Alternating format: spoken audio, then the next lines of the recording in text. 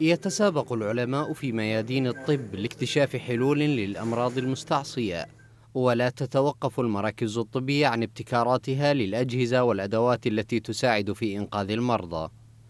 الشرايين أقنية غذاء الأجساد بتفرعاتها واختلاف أحجامها أخذت حيزا مهما في المجال الطبي وخصصت لها مؤتمرات وأبحاث ومنها المؤتمر الدولي للشرايين المحيطية الذي أقيم هذا العام عن طريق تقنية الفيديو نظرا لظروف جائحة كورونا. ولأهمية هذا المؤتمر يقام بشكل سنوي في تركيا. لتسليط الضوء على آخر التطورات في معالجة الشرايين المحيطية. حقيقة هذا المؤتمر مهم لأمرين مهمين. أول مهم هو آخر التقدمات أو آخر التطورات اللي قدمتها الشركات الطبية في هذا المجال. والأمر الثاني هو آخر الكفاءات أو المعلومات اللي حصل عليها الأطباء اللي بيعملوا في هذا المجال وهم معظمهم من أطباء القلب وأطباء الشرايين بشكل عام.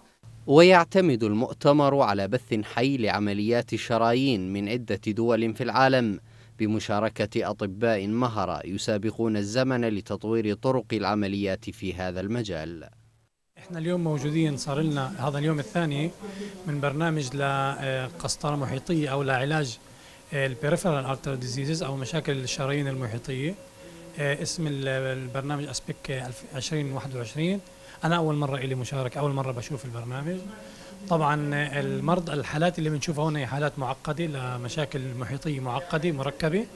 آه، في بمستشفى ميموريال استعمال لأدوات آه، آه، تقريبا أحدث الأدوات أتوقع يعني.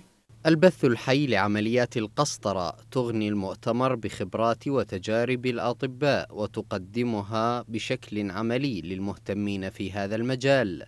كما أنها رسالة توعوية للتعامل مع أي اعتلال طارئ في الشرايين المحيطية.